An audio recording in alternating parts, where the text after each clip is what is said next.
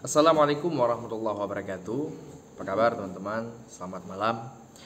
Jadi eh, biasanya masyarakat kita ini ada dua hal yang biasanya jarang diperhatikan oleh masyarakat dan ini disepelekan, dikira boleh dalam sholat. Padahal ini salah satu penyebab membatalkan sholat. Apakah itu?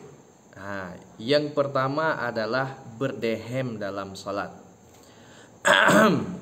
Berdehem seperti itu dapat membatalkan sholat. Jadi tidak boleh berdehem walaupun walaupun sudah bersangkut sekali. Kecuali boleh berdehem kalau kita lagi baca Fatihah. Fatihah karena salah satu rukun sholat. Tanpa Fatihah nggak sah sholat. Lagi baca Fatihah nggak lewat lagi kecuali dengan berdehem baru lewat.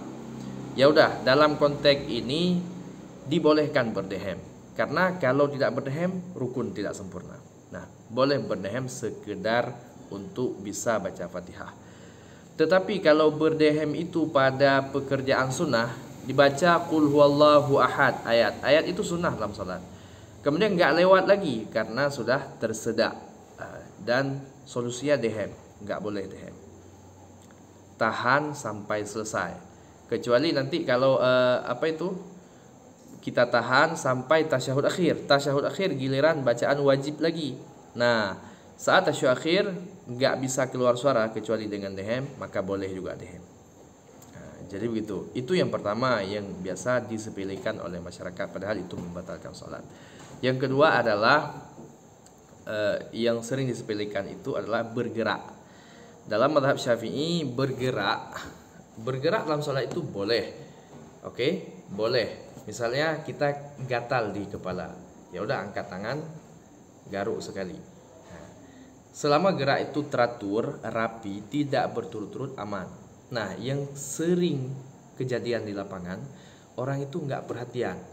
Dia angkat tangan, garuk di sini. Nah, tiga kali berturut-turut gerakan anggota badan kita sudah membatalkan salat. Apalagi yang ketika kunut kadang-kadang ada yang kayak ini Nah, ini sudah membatalkan salat karena gerak gerak aji Nabi, gerak yang tidak penting dalam salat. Dipikir ini gerak biasa aja padahal itu sudah membatalkan salat. Garu tiga kali begini juga sudah membatalkan salat. Atau apalah gerak anggota badan kita yang berturut-turut tiga kali itu membatalkan salat. Tolong diperhatikan baik-baik.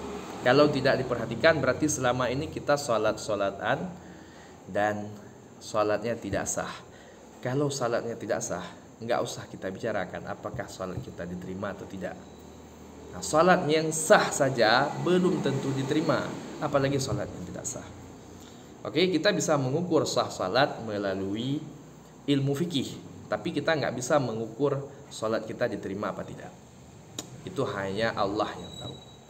Oke, semoga bermanfaat. Wassalamualaikum warahmatullahi wabarakatuh.